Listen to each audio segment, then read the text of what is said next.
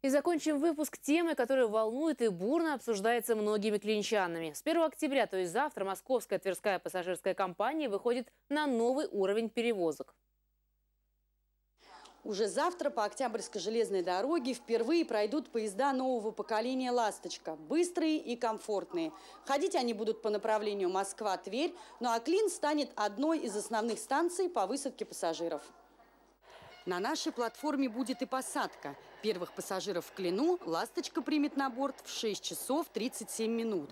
Путь до Москвы на этом электропоезде займет час-час 10 с остановками Подсолнечная, Крюково, Сходня и Химки.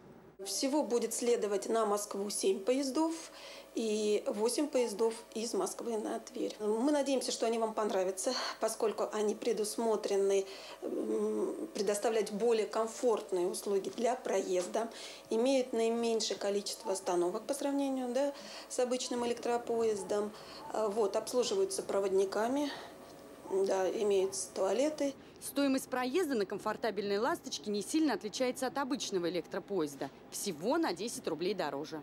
При тех услугах, которые мы предлагаем, стоимость билета до Москвы от станции Клин будет составлять 200 рублей.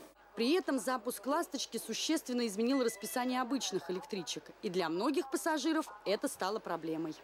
Если я раньше ездила на Конаковской электричке 6.12, 6.23, сейчас их нету в расписании. То есть до Решетникова мне добраться не на чем. Сейчас первая электричка в Тверь будет приходить 8.05.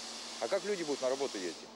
В РЖД это понимают и даже обещают, что это всего лишь временное расписание. Мы сейчас понимаем, что э, будут обращения граждан, да, э, причем с негативом.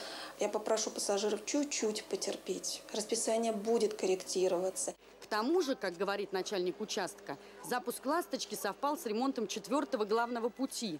Эти работы тоже влияют на отмену электричек. Плюс впереди переход на зимнее время – кто часто ездит, тот поймет. Но, как заверили нас на Клинской станции, разобраться с расписанием в пользу пассажиров должны в течение двух месяцев. Евгения Цветкова, Юлия Левицкая. Новости дня.